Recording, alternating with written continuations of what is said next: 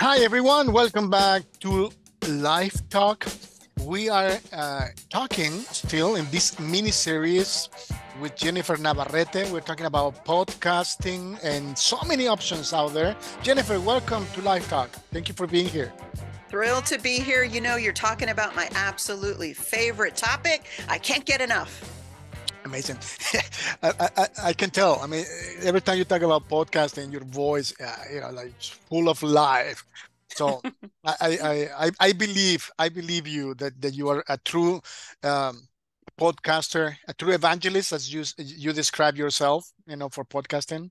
And if people are following this series, I think they already know uh, that you are really excited about mm. this. Today, uh, we we want I I would like to talk about um, the blockchain, and I'm sure a lot of uh, a lot of our people, the people that are watching this, they already heard, they already have an idea uh, of what the blockchain is, and if not, this is a great opportunity uh, for that. We both are in the blockchain, in the Hive blockchain, mm-hmm. and um, and uh, and this is a great option for creative people and specifically we are uh, talking to to uh, i mean not only but you know we're talking about podcasting but the blockchain is a great opportunity for creative people. Well, uh, mm-hmm. tell us a little bit about that. I mean you've been on the blockchain for for some some time right jennifer Mm-hmm.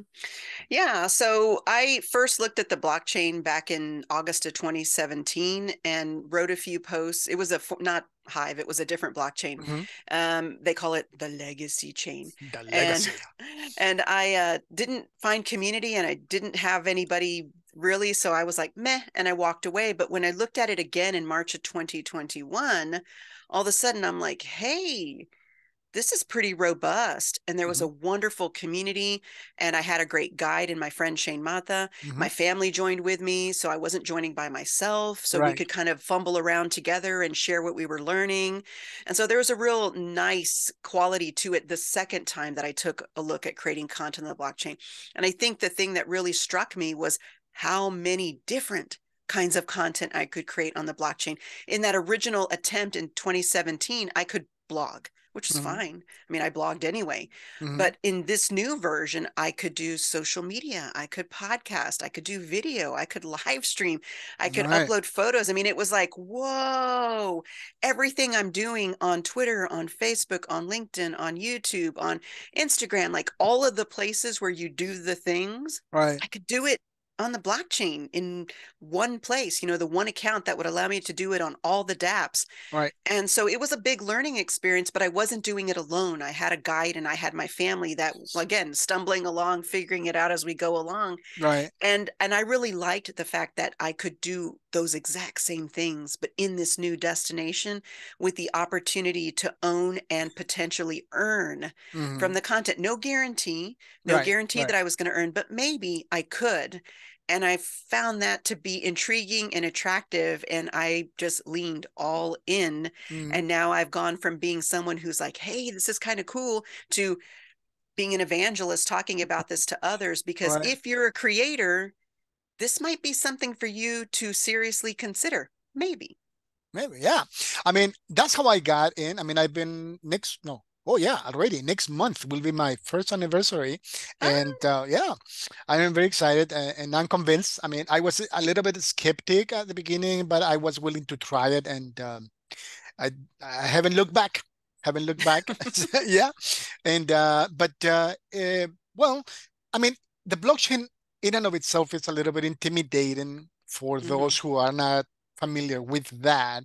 What should someone let, let us, you know, right now sure. there is a podcaster that is watching us as like oh i would like to try that i mean what will be the process i mean I, we can do a, this is not a tutorial because then we need to do something very very different than yeah yeah we'd what, have what, to screen share and do all that stuff so right. i'll just say if you're a creator and you're watching this and you're like you know i'm a podcaster or i'm a blogger or i'm a video blogger or i live stream or i'm all about photos or whatever whatever kind of creator that you are there's a place for you on the blockchain. So, having said that, what does that mean for you? I would say think about the one type of content that you absolutely love to create. That if I said you can only create one kind of content, what would it be? In my case, if we're talking about social media, it would be microblogging because I'm all about Twitter. And Right. in this case, now microblogging on the blockchain, which is Dbuzz um, or Leo Threads or any number of others. And th- in this case, for me, if it was media, it would be podcasting because Right. I'm all about that podcasting. So if I had to choose and narrow it down, I would start there. Think about that and then take a look what, at what's available on the blockchain. And I will say, to me, my best advice that I think that I can give you is if you're hearing about this for the first time, get into sponge mode.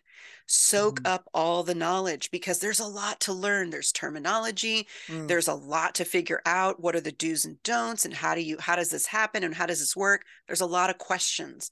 So take your time. There's no Mhm. rush. right. There's a lot of blockchains. Which one should make sense for you? Mhm. What are you going to do on there? What is all this terminology? Like, what does DApp mean? What does DeFi mean? What is, you know, all that Mhm. stuff? Take your time. Find Mhm. someone who speaks plainly. If you're Mhm. watching this, then this is probably a show that you should lean into and get more information from. If there are guests that are that are being interviewed, maybe like myself and others, get connected with them, learn more about what they're doing. Find the people who are speaking plainly that where you're like, I don't understand everything they're saying, but I Mhm. understand some of what they're saying and I like the way that they're sharing that Mm. information. So let me get to know them, get connected with them on Mhm. traditional social and learn more about what they're doing. So get into sponge mode first before you Mm. ever take action because there's plenty of time to get Mm. into it, but it's important to learn and find what works for you. That's right. I mean, that's what I did at the beginning. You know, I uh, I I devour devour uh, so many tutorials on Hive because I you know I I it's Hive uh, caught my attention right at the, at the beginning, so I, I watched the tutorials. So like, well, I think I I would like to try that. So that's what I did, and then I opened an account and um and uh And the rest is history. there is history. There is this history. Uh, it's a little bit different. So uh, I think every everyone should do. What is your phrase? I, lo- I love your phrase. Do your own due diligence. Yeah, do your own due diligence and research. And you'll hear Mm. that a lot in the Web3 space. There's a reason why, because there's a Mm. financial ramification and implication and Right. impact when you get on the blockchain. So Mm, you have to really be mindful of how this works for you, which is why I say get into sponge mode, Mm. learn, learn, learn, make sure it makes sense for you before you ever take action. And I mm, can tell you, there have been folks that have been listening to me talk about this for the last maybe two years mhm, and they're now just barely jumping in and starting to join but because they did take their time which i applaud them for. You shouldn't jump into this all crazy. You should Mhm. jump into this measured and thoughtful and take your time. Once you're in to allow yourself the time to get to understand the blockchain and for, to Mm. learn the community and for community to learn you mm, I and I would say as a podcaster, what I found fascinating was that just like there's Apple Podcasts and Spotify, mhm, there's places like that on the blockchain. In Right. the Hive blockchain, it's called Aureal. Mhm. It's a podcast dApp And I Mhm. can put my content there and it will be on the blockchain that people can listen to, they can upvote, they can reply, they can comment, they can tip. It's like, wow, Yeah. amazing. It's amazing. Yeah, it, it is. Um, the, the the the great thing that I found and the, that the key, I guess that's that's the thing that kept me here. It was the the community, the support that I found because at the beginning you're like, oh, what am I? So uh, that's a good thing. Um, and uh, and I'm gonna leave uh, my referral um Yes. link uh, on the description because with that um I uh, I might, you know, well, I can give you from my experience if you ever uh, uh, need help. I mean, Jennifer is also on the, on the Hive blockchain.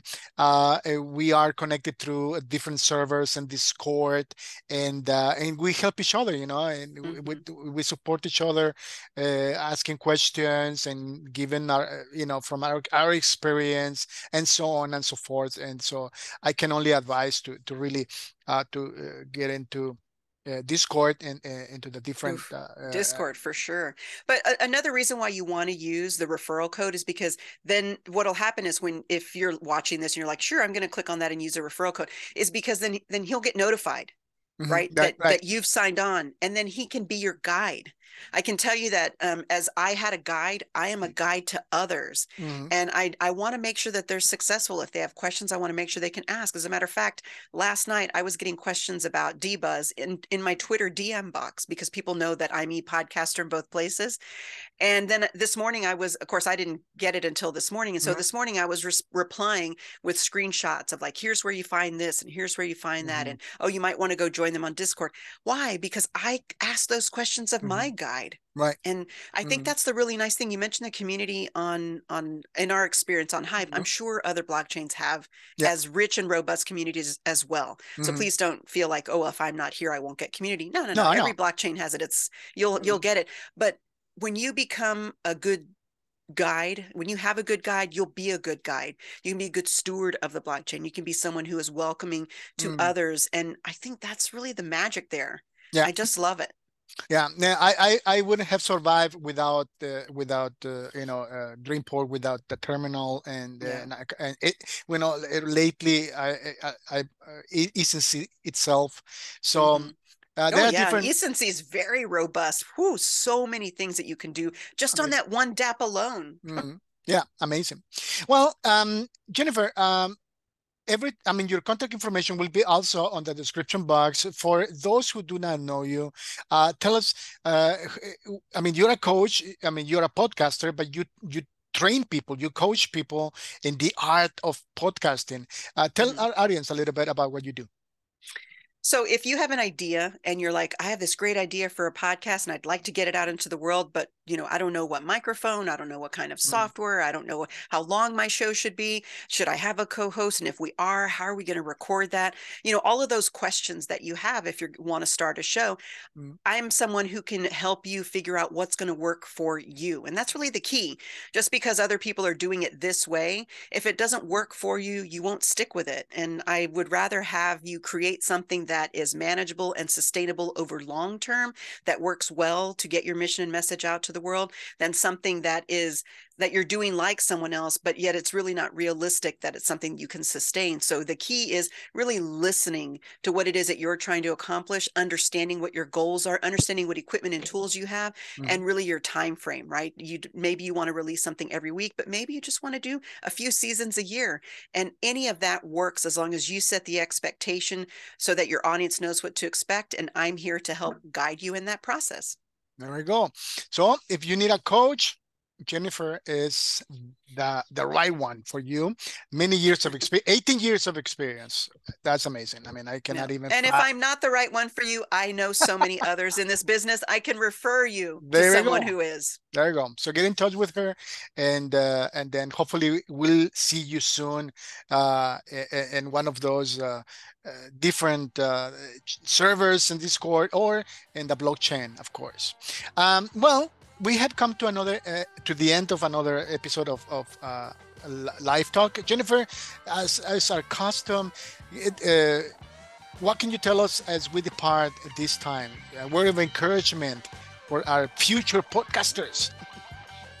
Don't let the tech get in the way of your message. Don't let it. Find the people who can guide you. Do your research. Figure it out. But go because even if all you have is a phone there's apps Mobile Plus apps is a perfectly great way to podcast. Don't feel like you've got to have, you know, oh, I have to have a microphone. Oh, I have to. No.